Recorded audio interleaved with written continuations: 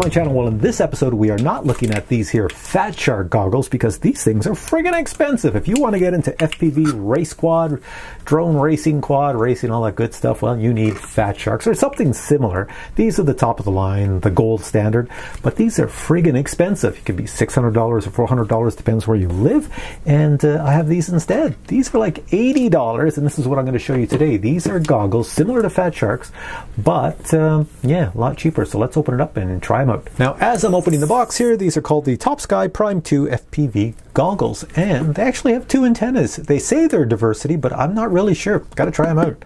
So inside, you get the instructions, and then you get all the goodies inside. So let me take this out. We have some a USB cable here. I assume that's to charge it because from reading the instructions, there's actually a battery in here that uh, you don't have to provide your own. So you get two antennas because, well, they're diversity. So you have a 5.8 gigahertz module on one side of the goggles and a 5.8 gigahertz module on the other side of the goggles so that no matter where your quad is, it should pick up the signal. And the name of these goggles are the Topsky Prime 2. Let's take a close look at all the features on the top. So the first thing we have over here is the power button. Just hold it down for a bit and it powers on.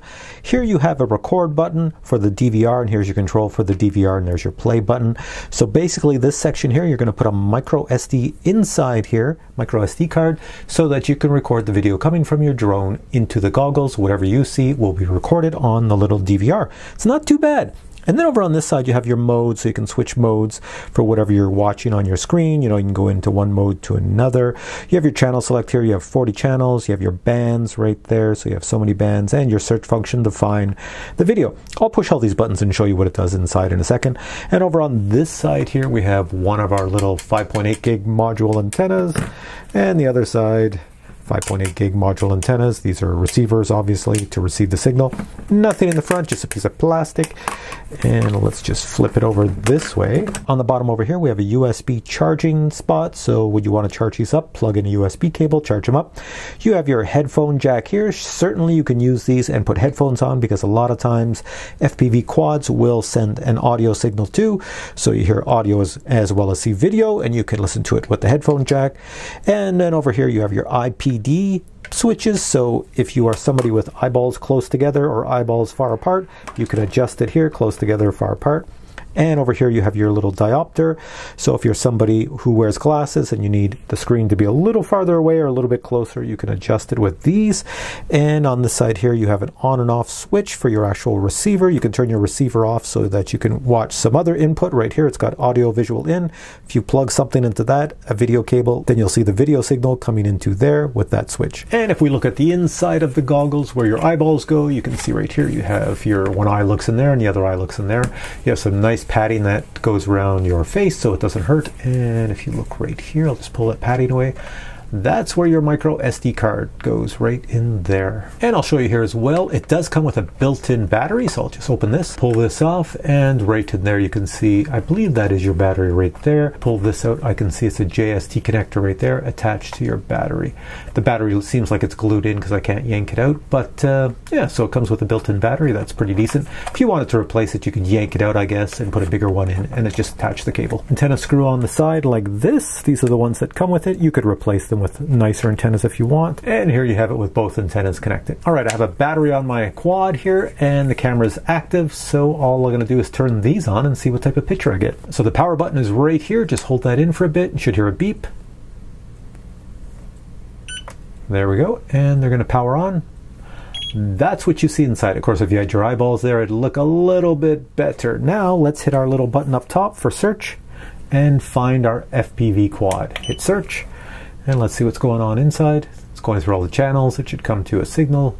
It should find it. Oh, that beep meant it found it. There it is. All right, I'm out at my local field and I've got these goggles. Now, I'm pretty excited about these goggles because when I first was trying to get into FPV drone flying, the goggles were uh, astronomical, like the price for them. It was way too expensive. So these ones here, I think they might even be like $70 US. I don't know. I checked the website and it looked like a $70 US. I was saying 80. They might even be 70. But for the features you get, you get almost the same features that you get on Fat Shark goggles. Obviously, they're not Fat Sharks. They're lower quality. the resolution is lower. And of course, you know, your antennas and the components and the receivers is going to be lower. It's going to be less than Fat Shark. But still, for the price, getting into FPV, uh, if something like this existed when I started, that would have been amazing. So one thing I have to note that I've already noticed with these goggles is the following. You see what I'm wearing? I'm wearing sunglasses, but these aren't your normal sunglasses. These are prescription sunglasses. In other words, they have my eye prescription because I'm farsighted. That means if I take these off, I can see the cars and the trees far, far away, but I can barely see my hand. It's a big blur, so I need the glasses to see things close. Now guess what happens when I put these on? The lenses are right here close to my eyeballs. So the problem is, is that when I put these on, I tried them indoors, the image is a little blurry. I've tried adjusting everything and it's still a little blurry. You know, it's not massively blurry, but it's a little blurry. It's not crystal clear. I have to pull them away from my head a bit to get it crystal clear. And you wouldn't put your glasses on and uh, put these over top of your glasses. Well, you could try it. But the reason you wouldn't do that is because all this light is coming in the bottoms and the sides where your glasses are. So when you have a seal, you want it to be pitch black so that you see everything. So I'm going to fly them here. It's going to be a little bit blurry, but you're going to see. And there's a DVR in here. I've already mentioned that. It records to a micro SD. Of course, it records super, super low resolution, just like on Fat Sharks. Fat Shark DVRs record super low resolution. It looks terrible compared to what you're seeing inside, but I'll record it anyways to show you what the quality of the DVR is, and it's going to be low resolution. And I also have on my FPV drone over there, on the top I put a GoPro, so it's going to record at 4K, and then I'll switch between the 4K and the DVR. The DVR is going to look really bad when I do that, but it's just going to show you. More importantly, I just want to show you, see these two antennas? They say they're diversity because they're on either side, and we have two receivers. Uh, I just want to show using these antennas, which are you know, you'd replace them. If you look at my Fat Sharks, I've replaced my antennas with something really decent. Uh, you wouldn't fly with these, even in beginner mode, because you wouldn't get very much distance. But I'm just going to show you what kind of distance I get just flying around the soccer field here. And if they work, you'll see a perfect image in the DVR. If they're not good for reception, you're going to see all sorts of lines all over the place. So let's give it a shot. Right here's a little power button. I'll power them on. You'll hear a beep. Beep. There you go, they're on. And to start the record, let me just see if I have an image. Yeah, I see what my drone sees. So if I want to start the recorder, right here is another button right there. It says record DVR. Just hit it once. There we go. We're recording. Now hopefully the reception's good on here so I don't lose my little drone. Another thing I should mention too is what I'm noticing right now is it is a red plastic and right here I can actually see the glow from the sun. It looks pretty cool, this like Terminator. I can't show you what it looks inside, but I do see the red, the light glowing through this portion right here. All right, so if you look at my screen, let me just see, I've got the switches here. I'm gonna power this on. So I'm gonna put in acro mode. There we go, we're in acro, and uh, we'll take off and I'll fly nice and slow. Even though I'm in acro mode, I should be able to fly slow. So there we go. So here I am flying with these glasses, turning to the left, you can see what I see. Going over the field. So if I can fly like this, even though I'm far-sighted, that means that they're fine. You can still do FPV. I can see all the lines on the ground. There we go. I'm keeping it nice and low, nothing fancy here. You can see how the sun affects it. And you see those lines? I don't know if you can see lines flying through. That's the DVR.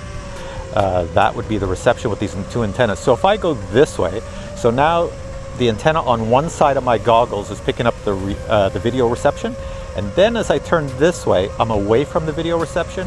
And now the other antenna picks it up on the other side of my goggles because of the way the, uh, video um, transmitter on the drone is adjusted.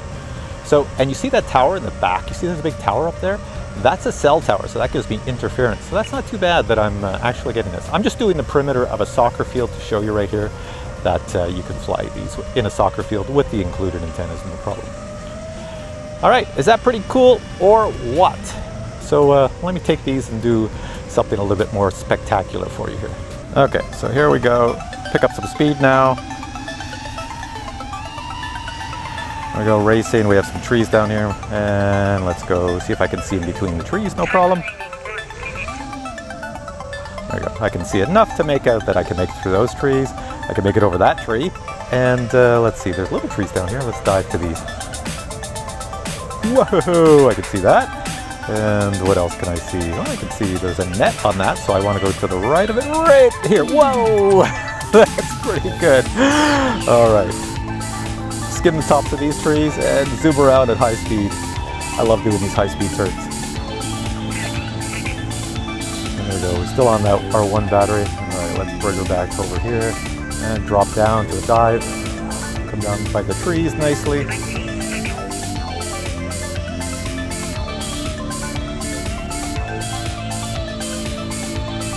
And see this round circle over here?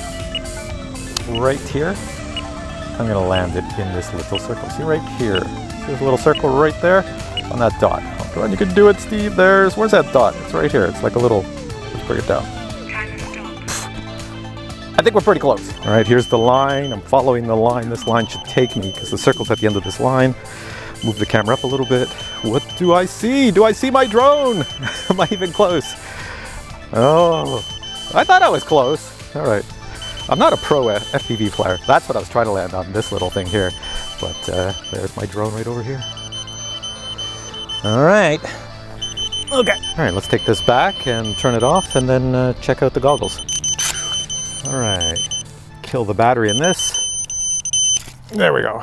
Battery's out. So right now, as we're standing here, I've not seen the DVR video from this on a big screen monitor computer, but you've seen it because I, you know, I put the 4K video, plus I put the video of me sitting there flying this thing, and then I put the video DVR coming off of this, and you could see all three, and you could uh, see what it looks like. Now remember, even if I would have used my Fat Shark goggles and recorded the DVR, it would look almost identical to this, because this records in low analog resolution, like really, really low res. It's it's just so you can record your flight, but it's not made for anything cinematic. Uh, that's what the GoPro's for. So anyways, if you have an FPV drone, throw a GoPro on it, you'll get great footage. It was just to show you kind of what my eyes are seeing inside, but my eyes see something better than what I showed you on the DVR because the DVR is a very low resolution. So uh, in my little tryout with this, it was not bad. I didn't lose reception. I didn't get too many lines like I'm used to flying. So I can fly through lines and interference on the screen and anything like that. So I was able to see the trees, fly through things and do all sorts of other good stuff. Not crystal clear. I'm used to flying FPV, so you know, when I see blotches, I can tell where the openings are and other things. If you buy these and you're like me and you're far-sighted, you might find them to not be crystal clear. If you're nearsighted, they probably work perfect. And if you don't wear glasses at all, or you have a really tiny prescription, then they're gonna be crystal clear and work perfect because they have lots of adjustments. But if you have terrible eyesight like mine, where I can't even see my hand in front of my face unless I put on glasses, then it will be a little bit blurry. But for the price, my God, to get into FPV drones, for the price, it's pretty darn decent for what it does. It does almost everything that a Fat Shark goggle does, and the only thing to upgrade it is uh, just change your antennas. Put a mushroom antenna here and maybe a little uh, patch antenna here. You know, and uh, you'll be fine. And the only other thing to mention that some people might point out is that the battery's built in. And uh, for people who are professional FPV drone flyers or people who are like hobbyists like me that like to fly FPV, we go out and fly at a lot of events and we like to have two batteries with us, sometimes three for our goggles because we will fly for an awfully long time and we have a ton of batteries for our FPV drones. Since this is built in, as soon as this battery's up, well, that's pretty much it unless you pull this bottom off and you plug in an external battery right here. You can literally tape it on the bottom because you saw there's a JST plug and uh, you can put an external battery right there and go all day and power it and keep on going. So I think the design of these are really good. I really don't have any complaints. You know, I'm reviewing this as a beginner would buy these because no professional is going to buy these. So for a beginner, I would recommend these. These seem to work quite well for a beginner, especially for the price. I haven't seen anything on the market this good for that price. All right, hope you enjoyed this review. I'm going to put a link below to where you can find these and there's more information about them. If I missed anything when I was chatting here, just post a comment below and I'll try to answer it the best I can. All right, thanks for watching the video. Give it a thumbs up and I will catch you in the next one.